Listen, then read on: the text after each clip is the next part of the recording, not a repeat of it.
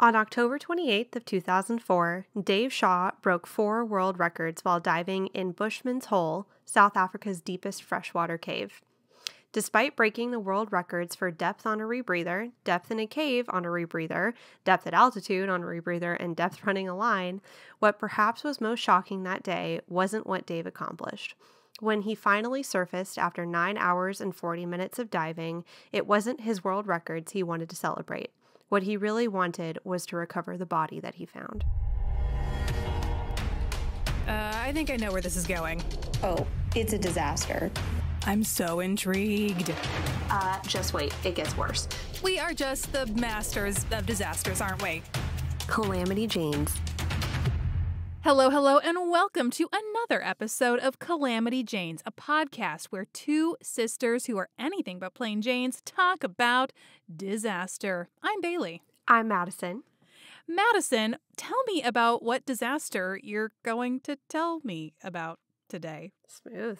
That Thank was great. You. Thank you so much. We are talking about the Bushman's Hole diving disaster. Go ahead. I'm Go ahead. no, no, No? It's a perfectly normal name that does not conjure any um This is a clean podcast. jokes in my mind. This, is, a clean clean- podcast, which is why there is nothing. I'm not going to say anything. Good job. Okay. So, our story actually begins 10 years earlier on December 17th, 1994. You with me? I am with you in 1994. I was five. You weren't born. That's true. I still had another seven and a half months after this. You did. Deon Dreyer was a 20 year old South African recreational scuba diver with a passion for loud music, fast cars, and pushing the limits. He had Ooh, I I was gonna say same. Then I was like, no, I don't. I don't actually like maybe fast cars. I guess I like loud music, but I like I- safety. I love both of my feet on the ground. if I can be laying down in something soft, I prefer even that. yep. Still laying still, still. yes. He had an adventurous spirit and was eager to explore new opportunities. So, when several divers from the South African Cave Diving Association asked him to provide support for a deep technical dive at Bushman scheduled for later in the week, Deon jumped at the opportunity. I'm not sure exactly what kind of support he was providing, but I would assume it would have been like laying lines or gas canisters along those lines before they were going to go and do the big shebang. Gotcha. And just to have like a seasoned pro and his um with his background and experience in addition. At 20 years old, yeah. Hey, he's a professional adventurer. Yeah, he definitely was that.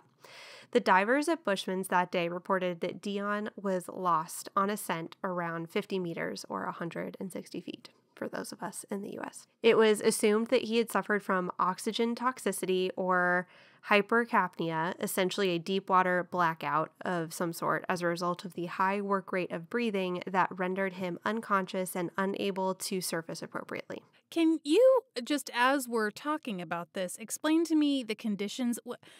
Is it a hole like I'm, envis- I'm envisioning, like literally a, a cavern underground, underwater? So like it's also dark. He's 150. Okay. Okay, yes. So that's a really good question. Um so there are lots of pictures of where this is. So big picture, um it kind of looks like uh it's like pretty sparse, kind of dry area with yes, if you look it up, you can help me. Googling. Yeah, you can help me paint this beautiful word picture for everyone listening.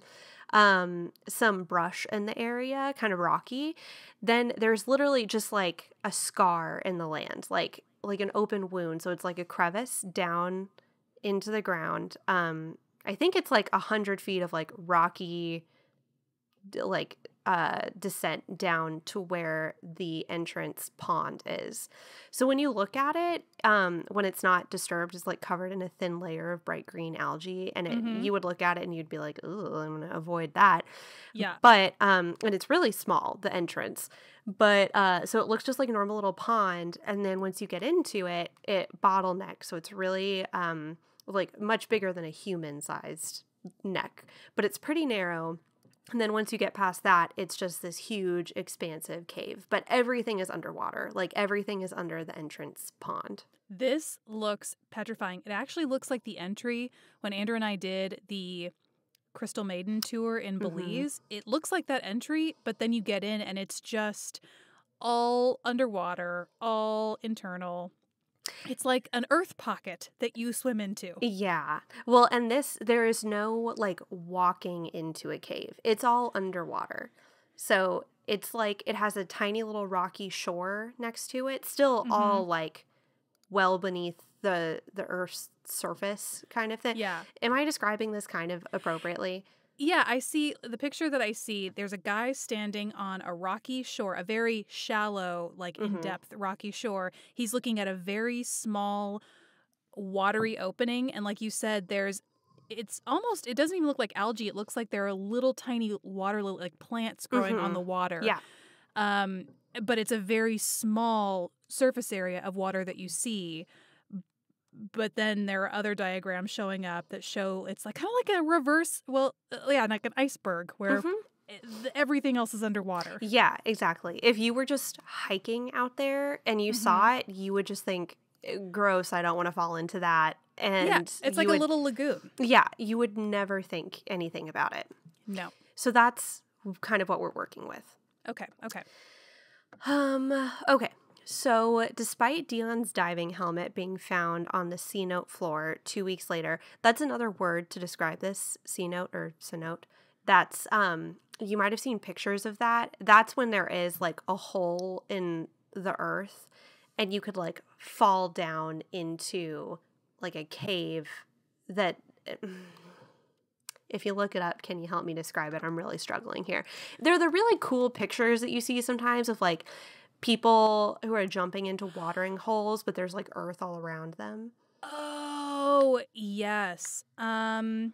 Let me. I'm gonna try and find one that's like You're like in a room in the earth, like all natural, and there's like a, A tiny circular room. skylight. Yes, yeah.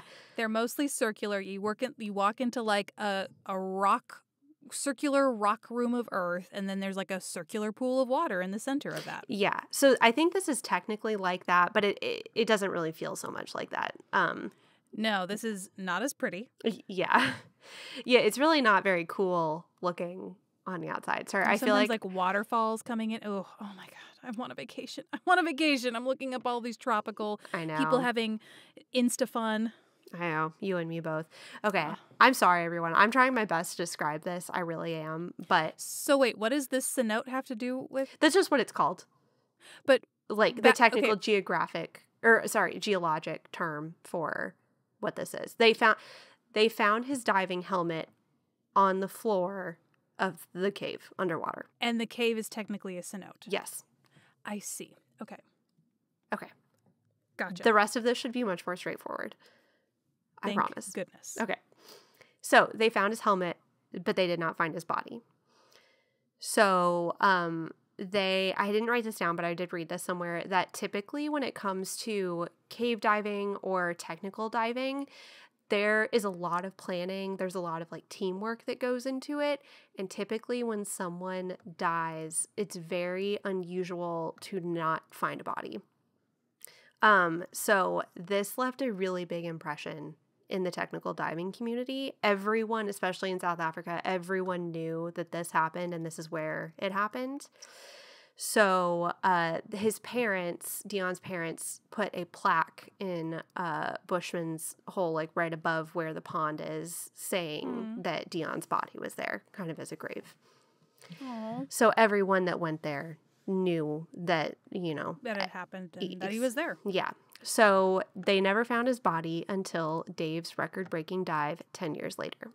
So before we get too much into the story, let's talk about technical diving, Yes, what please. these people were doing. Technical diving is scuba diving that exceeds the agency specified limits of recreational diving for non professional purposes. To make a very long and controversial story short, there is not a good definition of what technical diving is or what it encompasses. Yeah, I was going to say, this is now the second time you've told me this definition, and I've tried to follow your words like a bouncing ball. And it's like, so someone who is a, is knowledgeable in scuba diving doing more and going further than they should. Yes. Yeah. Okay. So it's essentially a what what I'm gleaming from the Wikipedia page and the other articles that I read. It's basically someone a scuba diver who is doing is going beyond what scuba teaches you to do. Where I they see. yeah, what they teach you to do, where they teach you to go, things like that for non-professional purposes. I see. So recreationally for funsies. and that is called technical diving. Yeah.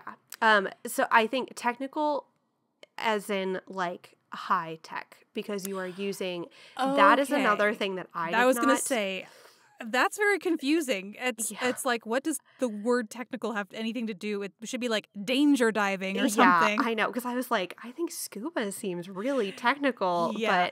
but that is what I got from the Wikipedia page because when you're doing um like regular scuba diving you're not using nearly as much equipment as you are with technical diving. I see. Okay. Okay, so for example, nitrox diving and rebreather diving were initially considered technical, but this isn't really the case anymore because some scuba certification agencies offer recreational nitrox and recreational rebreather training and certification. So it is just what is beyond the bounds of scuba. Gotcha. Some other entities define technical diving based on the depth and immersion time of the diver. So essentially, what you could probably safely boil down to is anything outside of what's typically covered in recreational scuba. Okay. The implications of which, I guess, we're we're establishing establishing this definition because does this absolve some people of? Does it implicate people? Is it important in? It's mostly just so you understand that this isn't um this isn't someone just walking up to this hole with their flippers and their one oxygen tank on their back and like going for a little explore. okay, this is weeks, Complex. Yeah, this is weeks and weeks of planning, timing down to the second, down to the I minute. see. Yeah. Um so I'm going to keep I'm going to keep explaining this to you because Please press on. Yes. but one of the biggest differences between technical diving and regular scuba is the risk. Because technical diving is usually going a lot deeper, it's a lot more dangerous. Not only because of temperature and pressure and the usual things that try to kill humans when we go places we aren't designed to go, but because when you go to those sorts of depths, you need a special concoction of gases to help you get there and come back alive. Oh, I did not know that. Yes. Breathing air under pressure starting at 30 meters can result in nitrogen narcosis, which can make a diver feel confused, disoriented, essentially drunk. They also, I think, call it like martini syndrome, uh, which makes it sound a Super lot fun more and delightful. yeah, a lot more fun than it actually is. Yeah. Um, so, to prevent that, divers can use a mixture of helium containing gases such as, I think it's pronounced trimix or trimix or heliox, to replace some or all of the inert fraction of the breathing gas with non narcotic helium. Huh. I'm not going to pretend to know what that means. I don't think you should either. Wasn't even going to. I don't know. Um, Um, biochemistry is um for will forever be a mystery to me. There is a reason that other people are doctors and I am not. uh, yeah, I know. I should have asked Ryan about it before he went to work. Have him explain it to me. This is a highly specific scuba diving question. Yeah. He majored in biochem, so I'd like Oh, to think he could help me, but who knows? Who knows? Uh, but anyways, what I want you to take away from that is that you are going so deep with technical diving that you can't just use regular air in like the typical scuba canisters. You have to very specifically create like a mixture to combat what happens to the human body uh, past 30 meters. Does it have to be done in stages? Like, can you breathe the normal stuff to a certain depth and then you have to switch over? That's a really good question. I think that might be the case. Um because they and I mentioned this briefly later, but when you do really deep dives like this and in the preparation stages, kind of what Deon was doing, people will go down and put different canisters at different depths.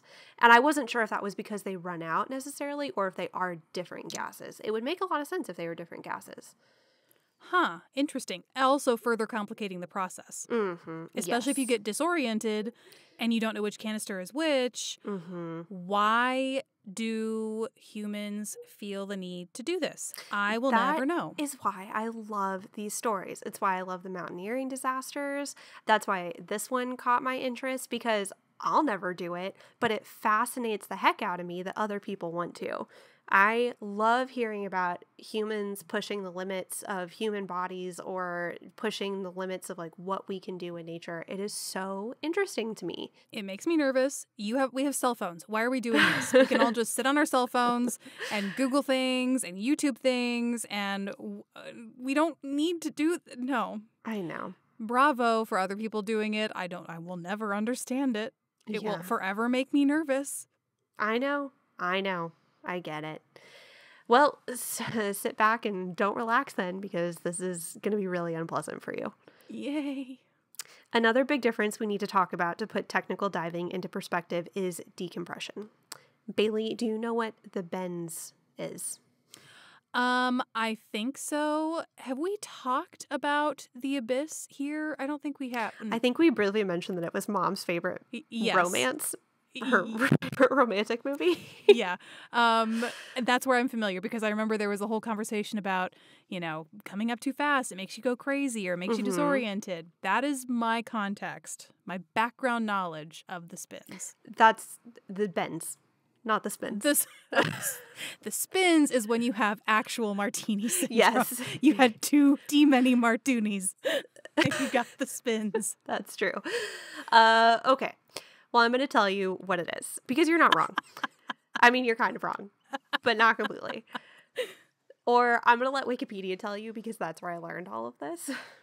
Metabolically inert gases in the diver's breathing gas, such as nitrogen and helium, are absorbed into body tissues when breathed under high pressure, mainly during the deepest phase of a dive.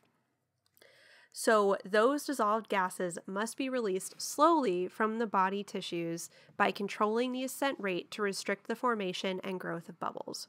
So, if you go if you go really deep, um, you can't come up too quickly because otherwise you will get gas The bubbles in your blood. That is not. I mean, why are you this way? Because it's. I don't know. It popped into my head and I'm dying to say it for like The your- runs. The whole explanation. I can't help. I can't explain it. What is wrong with you? Can we get through one episode without you mentioning farts or?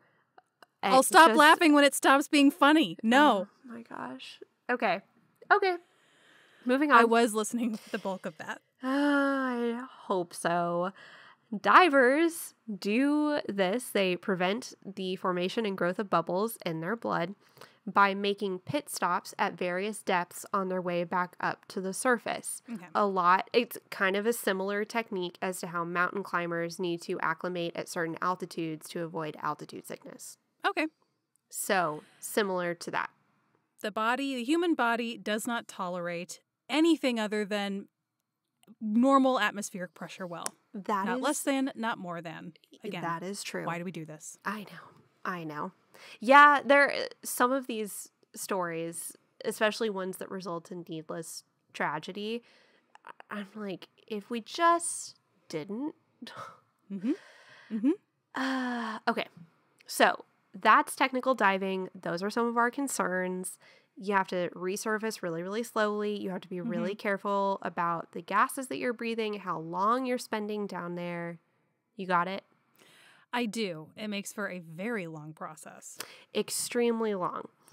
Um, okay, so back to the story. While Dave was on his record breaking dive in Bushman's Hole, he stumbled upon Deon's body at 270 meters. So that's very deep. And well below what you said he was supposed to do. What didn't you say they lost track of him at like 150? at 50, Oh. Oh, I'm think 150 feet is what I'm. 160 feet, yeah. Okay. Okay. So this is 270 meters. So that's about 880 feet, if my Okay. math is Checks anywhere out. close to Sounds good to me. I know it's a little less than 900. Too far. Too far, in my opinion. yes, that is the deepest anyone had ever gone on a rebreather. That is the deepest. That's how he broke all those records. Oh, this makes sense. Yes. So uh he saw and it was totally by chance. Like he said like I said, they all knew that his body was down there, but it had been 10 years and he was not going down there to look for it. Right. So he just totally by chance stumbled upon it. He saw that the body was remarkably intact and resting peacefully in one place. But because everything's extremely still. I mean, they're like, no, nothing's happening down there. Right. It looks kind of enclosed in the pictures I was seeing. Are there Mhm. fish here? Is this like a very I don't think so. Okay, it looked very enclosed and isolated, and so I'm I'm, I'm sure there's microfauna, but yeah uh, nothing big to. oh God, I hope not. Wouldn't that be scary? yes, it would, which is why you shouldn't go down there. You're gonna have, find those like cr- crazy bioluminescent anglerfish, but they're like oh mega big. I know. He saw that the body. Oh, I'm sorry. I just said that. Okay. But when you're diving at those depths, you don't just decide to bring back a body. Because, like I said, so technical, every second counts. You and have you're only like that would expend maybe more energy than you had intended so much on. energy. Yeah, And we're going to yeah. talk about that. Oh, okay. Um, okay. So, also to put this in perspective, every minute that he spends down at that depth is an hour of decompression on the way up. So when he um made it down, well, like I said earlier, it was a nine hour and forty minute dive. He was down there for about ten minutes, and it took him about ten hours to come back up. it- did would did he intend to be down there for ten minutes? Mhm. Okay. Yeah. Um, yeah, I read somewhere that he would bring like candy bars with him, and uh, How would he eat I those? I don't know. I'm not sure. He's I've, not in a spacesuit. How would he eat that? I have personally never tried to eat anything underwater, but apparently it was possible. That sounds disgusting I agree with you. and confusing. Yes. Uh, okay, so he laid a line to the body, and after a lengthy trip back to the surface, he called Deon's parents and promised to go back for his body and to bring it home. I know. I mean, do you want to I share your guess- feelings? Yeah, I guess I I don't know what I would do. It's um it's one of it's one of those things where it's like I suppose if obviously if they want it and they want to put their son to rest in in the way they originally wanted to. On the other hand, it's been 10 years Mm-hmm. and it felt like there was some closure with the plaque and like knowing that this was his final resting Mm-hmm. place. Well, and also knowing that he died kind of mysteriously Mhm. um there knowing that no one else had found him for this long which means that no one else was able to get that deep Right. um so it's obviously extremely dangerous and i completely understand wanting to have your child home Of but i would think i would also be extremely hesitant to well they didn't ask him to go do it he called them and said i found your son i'm going to get him i don't think it was so much Oh. of a do you want him i think it was i found him and i'm going to go get him Interesting. Okay, well that that is a different dynamic then. Yeah, that's which, Ye- which then again, did they want that? Well, they were very enthusiastic about it. They Oh, did not good. hesitate to say yes. Everyone Okay. was on the same page. They um so there is I was just about to mention it in a couple of sentences, but I got a lot of this information from a uh, documentary that came out actually just last year called Dave Not Coming Back. Um, that uh, details all of like this entire process. Interesting. I saw that movie poster when I was googling the actual cave hole, whatever it is. It's pretty good. Yeah. It definitely it does a very good job of explaining Dave and some of the other people involved. Uh, but they show because there were there have been actually a lot of documentaries done about this. This one just was free and came out last year, so I figured it was going to be done pretty well. Uh, I would definitely suggest that. I've linked the free version of it in the show notes. Fantastic. Yes. Uh, but you can see Deon's parents, they, uh, when they meet Dave for the first time and all of that good stuff, and everyone's on the same page. And a lot of Dave's fellow diving buddies admitted, they said he really was, he was a good guy. No one was trying to say anything otherwise, but they were like, when you're a technical diver, you're you're doing it for the dive, and he said his, Deon's body was kind of an excuse for him to go back again. Mm-hmm. Um, so he was determined to do it, but it didn't take any convincing. Like Yeah. he really just wanted to go dive again. Again. Um, okay. So, Dave and his best friend slash diving buddy, Don Shirley, assembled a team of divers and organizers to help bring Deon back. Uh, there's also a really good outside online magazine article called Raising the Dead about this that does a fantastic job of detailing Dave, Don, and Deon, and everyone else but my free reads on Outside expired, so I wasn't able to use it as a source for this episode. So, hey, Wald, if you can read it, that'd be great. If anyone wants to buy us a, subscri- a subscription to Outside, I would take it. Anyways, I did read it several months ago, though, when I first heard about this. It is very, very good. Okay, moving on. so, uh, okay what Dave and his team planned to do was basically have Dave dive to Deon's body and then hand it off to another diver at each decompression stop on the way up. So they would all start to go down, I think, before Dave, and they were there long enough to where they had timed it so Dave would go down. In 13 minutes, he would make it down to the bottom, and with the body, put the body in the bag, swim up to the deep first decompression stop, where Don, his best friend, was waiting. And I, I think it, this is my only complaint with the documentary is that I think they could have explained this just a little bit better. But they do have a bit of a diagram, and maybe I was just too tired to like really appreciate it. Yeah, but um, so I think they went down before Dave, and so w- by the time the body would get to them, they would be able to go up faster instead of just waiting with the body for however hours. many hours. Yeah. Yeah. I I had no idea that it only took 13 minutes for them to get down there. I was Not, thinking this was a very long, huh? The all of the hard stuff is on the way back. Huh. Mhm. Um, he and everyone else involved spent weeks preparing and practiced every single second of the dive. They made Good. yeah, they made a special body bag with quick release ties that would be easy to undo at depth with all of Dave's equipment and uh, so it had a mesh end so the water could flow through it. Okay. Yeah. Uh, Dave practiced putting his wife into the body bag in their living room, which was something she did not love, but something no. he became very good at. I would, I, ooh, that would be, I would, hmm, might be where I draw the line at love. Yeah. It doesn't look like a regular body bag. It looks like a duffel bag because I actually think his wife made it. Um, oh. Yeah, the police were there and they were going to be waiting basically at the bottleneck of the cave because they don't dive like this. The police were not interested. In, Who does? Yeah, they were not interested in trying to recover this body, but because a body was involved, they had to be there. Well, and if even if somebody else had found the body and the police needed to recover it, they still probably would have hired these same people because well, exactly. Who else has these specialized diving skills. Yes, exactly. Um, okay. During preparations for the dive, Dave and his team made a last minute decision to have Dave wear a helmet fitted with a camera.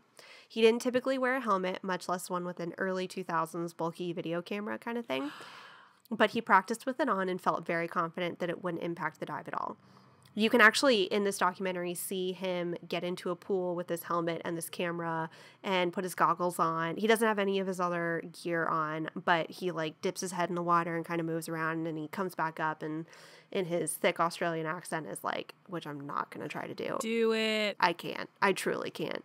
But he was like, "Oh yeah, not a problem. Perfect. I can do this so easy." But first of all, cameras, like you said, are huge back then. How did any of them function at that depth? I mean, I didn't even know there I were don't have underwater cameras. Any idea? I have no clue. Well, they put it into. It looks like a regular camcorder, like a 2005 was camcorder. it even waterproof, or they just like here? Probably. And then they put it into a something. bag. No, they put it into a casing, which I don't know if it waterproofed it, but it might have helped to protect it from the mm-hmm. pressure. Mm-hmm. Okay, enough from the peanut gallery about the camcorder. Okay, fine. So on January questions. on January 8th, 2005, as Deon's parents watched from the rocky shore, Dave and his team members put their heavy equipment on and on cue began their ascent to the dark depths of Bushman's Cave. Um, they also, fun fact that I learned from the documentary the woman who was like organizing everything sat in her chair with her clipboard, timing, and like doing all of the math. I think was the female that held the record for deepest dive, technical dive at that point. Cool. Yeah. And did they break that with this dive? She didn't dive. She stayed on the surface and told everyone when to go down. She was the one running the show. But did she have the like at the time that was her? Because didn't he break all those records? Wasn't that the deal? Yeah, but she was the female to do Oh, it. I see. I see. Yeah. Yes, at the time she held those records. Gotcha. So she was highly respected, trusted. Um, yeah, she was super cool for Good, doing it. good person to have on your team Yeah. With her expertise. Yes. So they had a ton of people in the hole, like on the shore and on the rocky part. Um, and she was there doing everything. So spirits were good. People were taking it very seriously, but they were, you know, like these are obviously kind of adrenaline junkies, and so you can imagine that they're all kind of hyping each other up, and um, and also when these people go into the water, they do look like astronauts. I mean, they don't have like these huge helmets on, but the amount of equipment on their bodies is insane.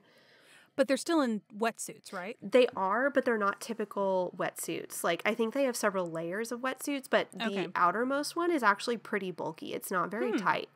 Um, and then they have their flippers, but they have these massive cans of gas and rebreathers are like two long tubes that come in front of your face.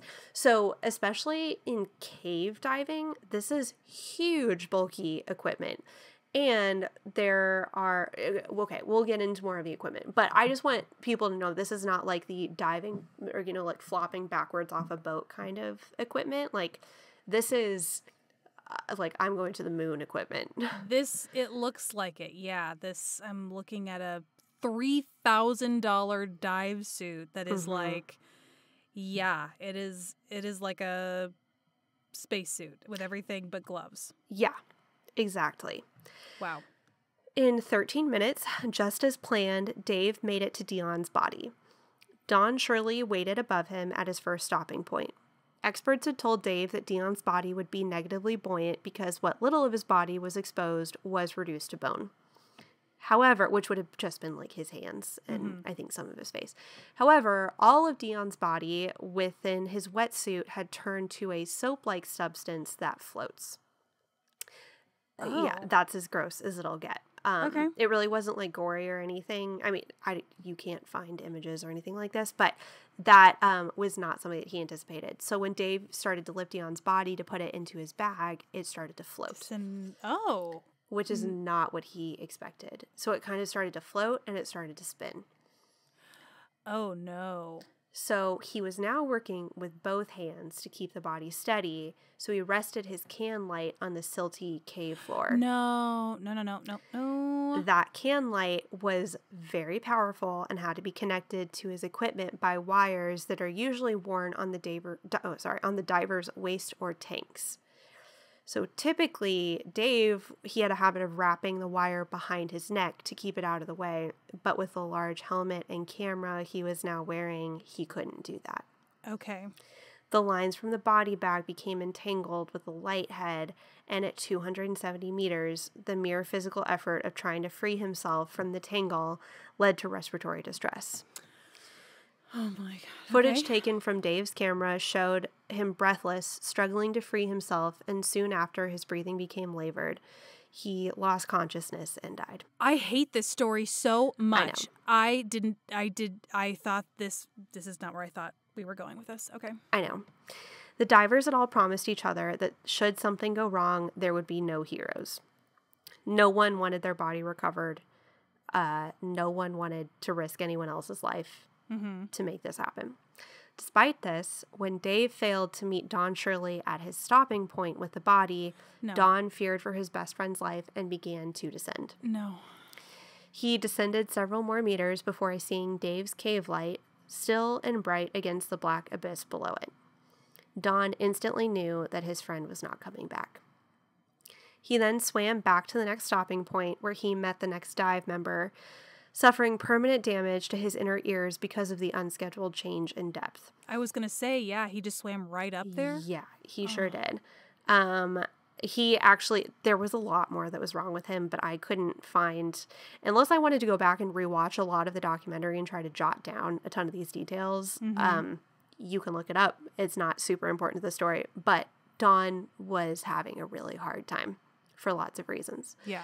On his small underwater message board, he scrambled to write, Dave not coming back. The diver. So that's how they okay, I because I was going to say how if an emergency happened like this, how did how can they how did they they so had have a communication hand method. signals and they also had these boards and like it looks like a crayon that can write underwater on Mm-hmm. Okay. these boards the divers then began their long trip back to the surface when the first diver surfaced and reported back to the team organizer that woman with the record that dave was gone a quiet panic set in amongst those in the hole as they focused on getting the rest of the divers safely to the surface um, upon his return, Don Shirley was treated for his injuries and taken to a decompression chamber. Technical divers always know this is a possibility, but for someone of Dave's skill level and with his experience, it seemed surreal. Three days later, the team members executed a dive to retrieve their equipment as they had gone down the day before the recovery dive to lay lines and um, gas canisters. As the team members pulled gently on the lines, Dave's body was pulled to the surface. Miraculously, the minor tangle that had cost Dave his life was enough to pull Deon's body to the surface as well. Really? True to his word, Dave had kept his promise. I'm going to cry. Are you ki- wow. That is the story of Bushman Hole diving disaster. That's incredible. Yeah. Oh, but so heartbreaking. I mean, on the one hand, you poetically said he did exactly what he promised he would do, but man, how. Mm, Mm-hmm. his poor wife. Yes. Yeah. Very, very rough. She's in this documentary as well. She, I think, is now, it, it, this was 2005. I think she's now a little bit more at peace with it. But mm-hmm. I think, sh- like a lot of spouses to extreme sport people, Yeah, I think she's kind of. s- support them, but in their passions, and especially a, noble pursuit such as Yeah. this. But on the other hand, She's mad. yeah, Yeah. yes, Absolutely. Um, understandably so. Yeah. Um so yeah, that is that is the story of Dave. He was also a commercial airline pilot. Um Of course he was. Yeah. Good- he really had a need for thrill. he sure I mean, did. I'm sure commercial airline pilots are like, eh, we, we, we just kind of hang out in the cockpit. But you know, flying, flying is a, a rush. I think. Yeah. Well, fun fact, he actually if you remember our um, Delta 191, the flight that crashed in Dallas that we covered a couple weeks ago, Mm-hmm. that was a uh, Lockheed TriStar 1011. He flew those when he was a pilot. Oh. Mhm. I have so many mixed emotions. I know. I don't know how to feel. I feel happy. I feel super sad. Yeah. I know. Regret on behalf of everyone. I, oh man. Yeah. Um so Don uh still struggles with his balance and some other issues that um were a result of his injuries that he sustained. They actually it was pretty scary. They he almost died on the way up. Um it sounds like he just I didn't do it justice by explaining it then, but he when he was meeting the divers on his way up, he was vomiting, he was confused, he was spinning, he did not know what was going on. And so he almost lost his life trying to figure out what happened to. But thankfully he did not. He's still teaching technical diving. And for this documentary, he performed all of the stunts. What? yeah, he did all of the um I think he played himself. He recreated all of the scenes. So he's not afraid of the water. He's No. not he didn't say that's enough of that for my lifetime. He got back on that horse, so to speak. Yes. Wow. He absolutely did. Yeah. Is very courageous. Mm-hmm. Yeah, it's a, a really fascinating. That's the other thing I really like about these. The communities and the groups of people that do things like this are just so interesting to me. The technical diving community is just wild. And close and ride or die and like Mm-hmm. how I think that's my new fear.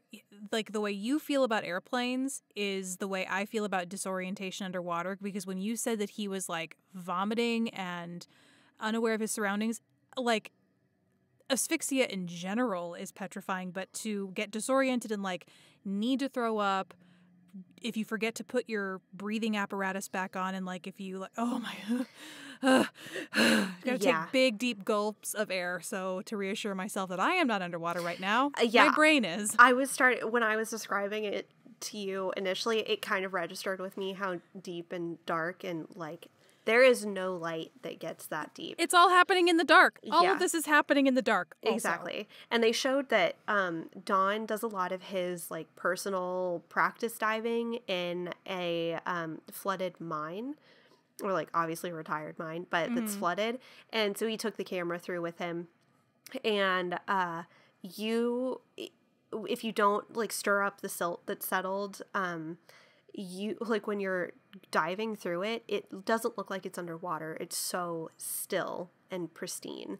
It's so unsettling. It's it's crazy. I Um, don't like that at all also worth mentioning, this was a really big deal in the diving community because when things like this happen, like I said, they typically have the body. And there are only so many things that these people are really experienced. They're not taking unnecessary risks. So if something bad happens, you have to assume that it was like, like you said, the asphyxia or the deep water blackout or Mhm. something. So when his body floated to the surface with his perfectly intact camera, they were eager to know exactly what happened. And you can watch it. Nope i don't think i will Yeah. i think that is best left not for my mind's eye to have seen I they showed part of it in the documentary. It's obviously not graphic or anything. Um, you Mhm. can just see his hands working, and you can start to hear his breathing get sharper and like a grunt or two. But they cut it before. Okay, so here's the interesting part: is that Don was talking about how when they somehow the news stations got the video footage Mm. and they wanted to show everything obviously Mm, and mm. so they invited him onto a show to talk about it, and he was so upset that they were showing his friend of dying course that he tried to get out that he wanted to get on the show so he could talk over it, so that they couldn't replay the episodes in like all of their Yeah. kind of gory detail. So he went and he's like, I tried to literally talk over it so you couldn't hear it, so people couldn't focus on it. And Ugh, so then in that interview in the documentary where he was saying that they kind of break the fourth wall for well i guess there is no fourth wall in an interview in a documentary but they uh, kind of break for a second and the interviewer says we've actually been discussing amongst the interview staff or amongst the documentary staff sh- how much of it we should show. And he immediately snaps in. He was like you stop at the cat's cradle which is where all of his equipment starts to get tangled. Mm. and he was like that's what i always do. There's no need to watch anything past that. And that's exactly what they did. So if you watch the documentary it's not going to traumatize you in the way Mhm. that seeing some other things might. But knowing what happens it is definitely disturbing. So watch with caution but they give you a lot of heads up before that part. Okay. Yeah, because it's it like you said, it's like it feels needless to Yes. uh watch it in uh, full full detail and just Mhm. di- distressing and yeah, I already can't breathe just thinking about this. I don't want to immerse another sense and then just like no, I think I would feel like I was underwater. Yeah, it's it's a brutal one, but I uh, I'm happy I finally got to do this one because I'd been thinking about it for a long time. But there are so many technical aspects to it that I was kind of nervous about it. But it's like I watched that documentary and it kind of sold me. It was like it was so moving and just Mhm. fascinating to me. So there it is. Well done, Moo. That was incredible. I had no idea where you were taking me on this journey. And although it made me feel feelings that I don't like feeling, um, I do appreciate everything. Thank you so much for listening for another week. We love having you here. Uh, be sure to rate, review, subscribe, wherever you Tell everyone you love dearly. Even if you don't like them, tell your enemies. We don't care. We'll make friends out of them. We can all be best friends. unless you like really don't like them, and then we also don't like them, but we don't mind if they hate listen to us.